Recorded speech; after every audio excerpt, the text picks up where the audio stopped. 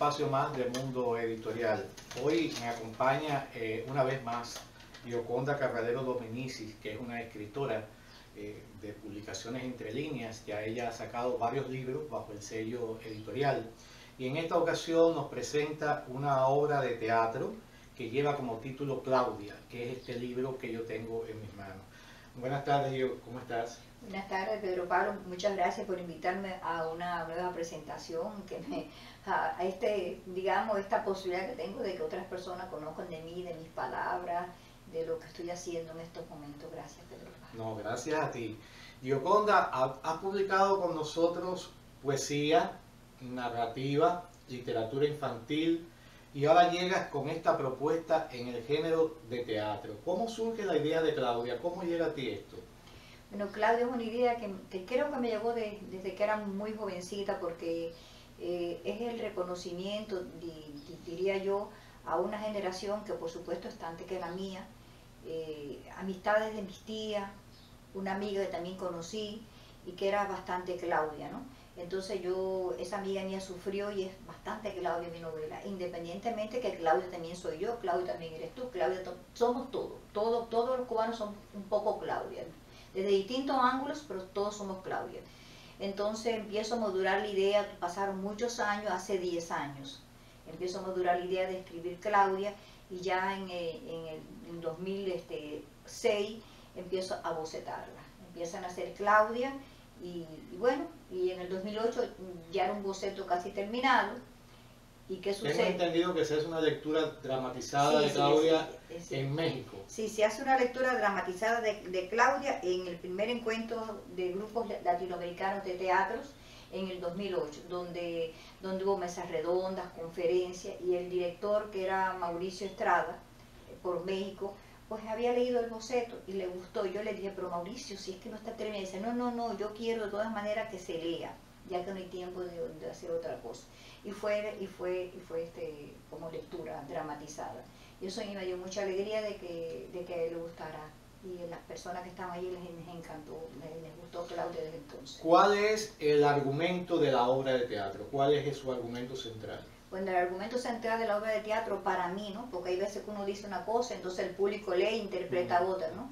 Es esta lucha constante que tenemos los cubanos y, cubanas desde 1959 con el surgimiento, digamos, de la revolución. Entonces, ¿qué sucede? Que ahí, ahí se empieza a, se comienza a pensar distinto, empieza todas estas cosas, toda esta vivencia y todas estas situaciones que, de las cuales hemos sido protagonistas todos, los de allá, los de acá y los de acullá es, es, esa es Claudia. Eh, la protagonista, claro que todo se tiene que centrar en, alguien. Yo lo centro en, una muchacha que se llama Claudia, una joven que se llama Claudia, su abuela, y un tío y un novio que Claudia nada más conoce físicamente, porque ese novio nunca está físicamente, solamente está en su mente.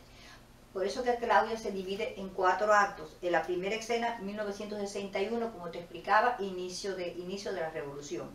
1980 eh, el, éxodo de, el éxodo del Mariel, ¿no? el éxodo de Mariel. Y en 1994 y un tanto más hacia atrás fue el regreso de algunos cubanos que vinieron en los 60 y también en los 80 y posteriormente en los 90 también, digamos, y regresan a Cuba. Y ya la, en la cuarta, la cuarta escena que va recorriendo todo este camino y llegamos a Claudia, que es la protagonista fundamental de esta obra, ¿no? donde ya Claudia llegó a un desenlace de paranoia total, donde Claudia eh, todavía sueña con que su novio ha de regresar, donde van a ser una familia, donde van a tener hijos, y ella no, ni se autorreconoce ni reconoce a los demás.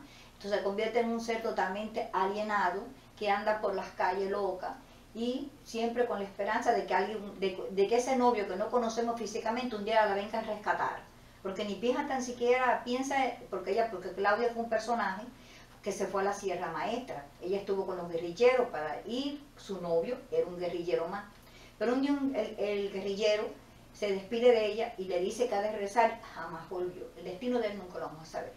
Entonces su abuelito, cuando ella regresa a su casa, su abuelita y su, tío más que todo, le recriminan mucho el que ella haya ido a, juntarse con esa gente que no tiene nada que ver con su personalidad. Y la abuela, como es una, mujer, digamos, de otra época, pues piensa que, que, ellas fueron, fueron grandes amantes. pudieron haber sido amantes, ¿por qué no? Cosa que ella niega.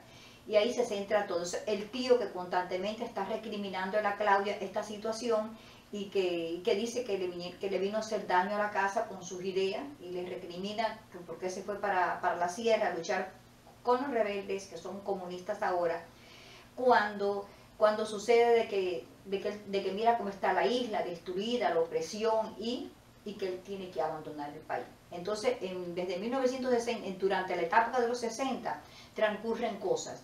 Las cosas que transcurren son precisamente eh, la revolución, el éxodo, el éxodo de los 60, y así ella, ella va viendo cómo su sociedad se empieza a desintegrar, como, como sus amigos se van, como su familia se desintegra, como el amor desaparece, también las cosas materiales que son tan importantes para vivir como los alimentos, las medicinas y sobre todo la desintegración social del país. Ella lo dice con sus palabras, porque digamos que Claudia no es una persona, es una persona soñadora, es una persona romántica, pero tampoco no era una intelectual. Ella decía las cosas desde su punto de vista, digamos que como muchacha soñadora. Y entonces la abuelita, que, lo, que independientemente a todo, ella, ella, ella, ella la disculpa y la perdona. Y el tío ese que, un día recoge sus maletas, ya eso es en 1980, y se va. Suponemos que sea el éxodo del Mariel o otro éxodo, pero él se va, él abandona, él abandona, él abandona, él abandona la isla. Entonces Claudia se queda, la abuelita muere, una, una amiga que, que, es quien le, quien le ayuda a salir adelante, quien colabora con la abuelita, coopera con la casa y todas esas cosas, un médico que la visita de vez en cuando. Y la abuelita muere, Claudia se queda a la deriva de Dios, señalada por todo en el pueblo como una loca, como la loca que vive en tal parte. Entonces ya en 1990, a partir de 1990 viene, como te decía, viene el regreso de, de, muchos cubanos que se habían ido del, país, entre ellos el tío de Claudia, que regresa. Exactamente, entonces el tío de Claudia, que hay un monólogo cuando él regresa a la ciudad, o al pueblo, al pueblo, buscando a la familia, buscando a los amigos, y, y, su choque, que nos ha pasado todo y nos va a seguir pasando, de que esa familia ya no está, se murieron, o se, mudaron o se mudaron por otro pueblo, o se fueron una balsa por cualquier parte de Estados Unidos, o averiguo tú en qué parte del mundo. Entonces las casas están como están en Cuba en este momento, deterioradas, destruidas y, también desgraciadamente, es triste decirlo, la moral también se ha deteriorado bastante. Entonces él tiene el encuentro eso con, con, con, nuevas generaciones, de que él estima de que él no está de acuerdo con las cosas que están pasando.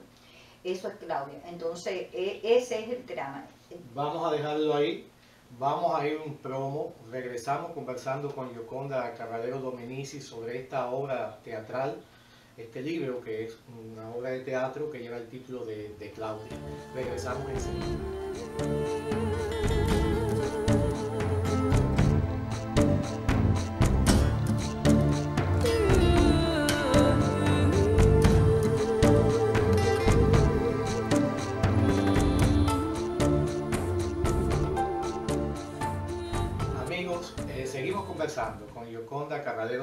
Eh, autora de publicaciones entre líneas, que recientemente sacó este libro en el género teatro, que lleva como título Claudia. Ella nos explicó el argumento sobre esta obra.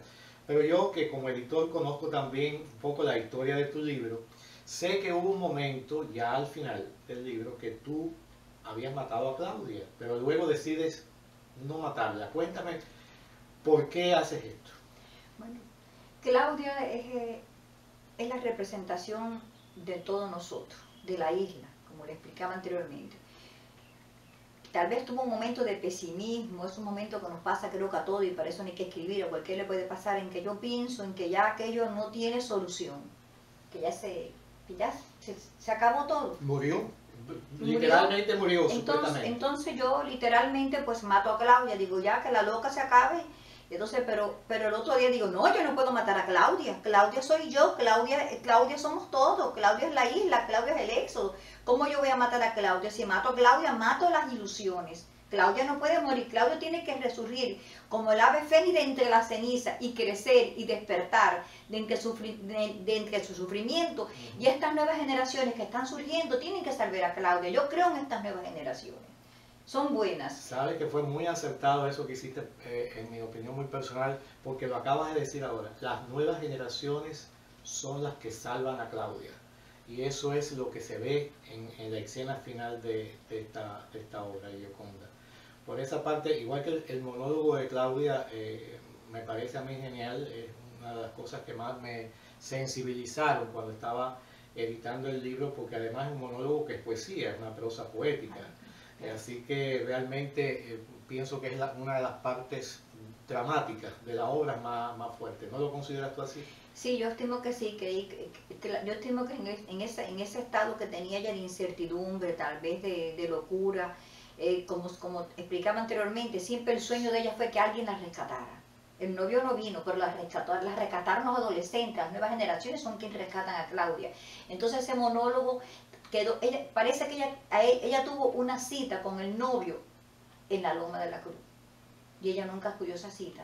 Entonces ella acuda a esa cita de la Loma de la Cruz.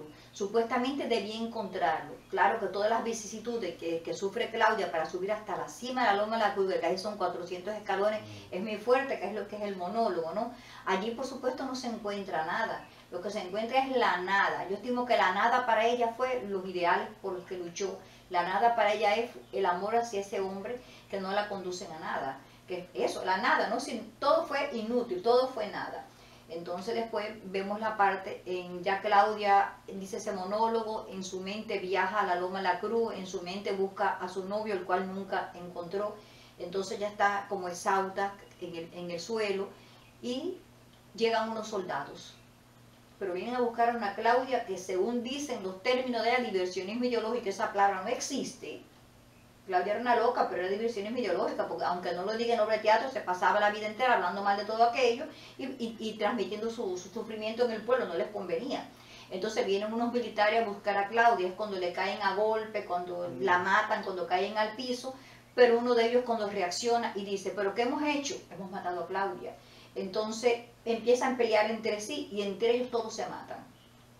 Entonces Claudia supuestamente está en el piso muerta, pero no, porque entonces, entonces llegan los adolescentes y cuando los adolescentes llegan, que ven a Claudia y, la empiezan a acariciar, entonces Claudia abre los ojos y Claudia vuelve a la vida y se dio cuenta que ella va a seguir viviendo porque al fin alguien la rescató. La rescataron las nuevas generaciones que son las que van a salvar a Claudia, que van a salvar la isla y que nos van a salvar a todos nosotros. Una metáfora muy linda a los dramaturgos de la ciudad de Miami, un llamado, eh, Claudia es una bonita obra, que se puede llevar a teatro sin, grandes inversiones, sin grandes recursos de producción. Así que eh, entre usted a amazon.com, puede comprar este libro de Claudia o, a publicacionesentrelíneas.com y eh, llevárselo, leerlo. Y si, si está interesado en dirigir teatro, me parece que es una buena oportunidad para llevar una obra con un texto, sobre todo el texto, ah, llama la atención en, eh, ahí, muy interesante, muy poético, eh, en los monólogos, en los dos monólogos que están dentro de la obra. Se editó de una manera muy, muy sencilla, como para dejar precisamente esa libertad a un director de teatro que pueda crear las escenas y que pueda crear eh, cada, cada entrada de los actores al, al escenario. Gio, cuéntame, ¿qué, ¿cómo puedes tú dividirte eh, tu mente tan se multiplica, porque me llama mucho la atención en ti que escribes para niños. Cuando te leo en niño hay una ternura tremenda en tu literatura infantil, un lenguaje muy fácil de llegar a, la historia. Y cuando te leo, como por ejemplo en Claudia, veo una diferencia. ¿Cómo, cómo, sucede esto en ti? Bueno, porque yo creo que todos, los que escriben, los que no escriben, los poetas, los, los poetas, todos, todos tenemos siempre, tenemos un niñito ahí dentro dormido y ese niño nunca se nos va a ir ese niño ha sido lo mejor de nuestras vidas, ¿no? Entonces, ¿qué sucede? Que cuando hay, hay veces que tengo la necesidad como de viajar a la niñez, a mi niñez que fue muy bonita, ¿no? Y es cuando yo puedo nuevamente ser niña, me encuentro con ese pasado bello que tuve de, de, mis amigos, de mi familia, y no literalmente así, sino con la fantasía que tiene que tener la literatura. Vuelvo a ser niño y entonces, o niña, y entonces cuando pude escribir para niños. Creo que es la literatura más bella que existe en el ¿Qué tienes en tus planes literarios? Bueno, pues mis planes literarios tengo en estos momentos, precisamente acabo de hacer, la, de terminar casi ya, la adaptación de Naye Visita Pueblo Feliz, que es el libro que tú meditaste, que tú conoces, ¿no? a teatro infantil. Hay un proyecto que posiblemente se presente en México, yo lo quiero en títeres, y es la, es la, es la proyección que tengo y tal vez la propuesta, la, propuesta. Pero sí me gustaría verlo aquí en Miami, vamos a ver, nadie, visita por lo feliz.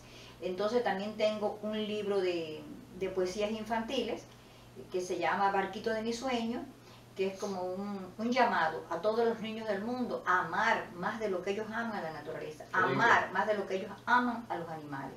Y, en este caso, eh, Barquito de mi sueño eh, se desarrolla eh, en, todo está relacionado con el mar. Amigo, ya sabe, Claudia está disponible en amazon.com y en publicacionesentrelíneas.com. Pero también Claudia es uno de los libros que se va a presentar el jueves 27 de octubre en la actividad que hace la Casa Editorial Publicaciones Entre Líneas el último jueves de cada mes en el auditorio que está en la 40 y Flagger. Junto a Claudia se va a estar presentando también Mis vacaciones de Solimar de María Josefa Reyes y Soy, un poemario de Isabelita. Allí los esperamos a las 7 de la noche. Gracias por compartir con nosotros este espacio del mundo editorial. Mi nombre es Pedro Pablo Pérez Esteban. Gracias a ti, Gio, por estar conmigo. Gracias a, gracias a ti por darme esta nueva oportunidad y gracias al público también. Ya sabes, los esperamos en un próximo Mundo Editorial. El último escalón se deslizó bajo mis pies ya descalzos. ¿Qué importaba sentir dolor en todo mi cuerpo? ¿Qué importaba que sangraran mis pies? Pero no te encontrabas no había sacudido la cita. Solo el silencio y el chillar de las aves habitaban el lugar. Giré muchas veces con los brazos extendidos. Después grité con todas mis fuerzas hasta lastimarme. El sol se alejó cuesta arriba. Buscaba la oportunidad de las nubes. Abajo estaba el pueblo dorado, rojizo, con calles rectas. Un ave negra voló bajo. Casi tocó mi cabeza. Tenía las patas doradas y sobre la punta de su pico plateado llevaba una piedra roja centelleante. Miré al alejarse. Miré hacia el pueblo demasiado lejos para volver a él. Recordé a mi madre cuando, cuando me mecía en sus brazos. Su dulce voz llegaba nítida a mis pensamientos. Unas frases salieron de mis labios. He buscado la nada y a la nada encontré.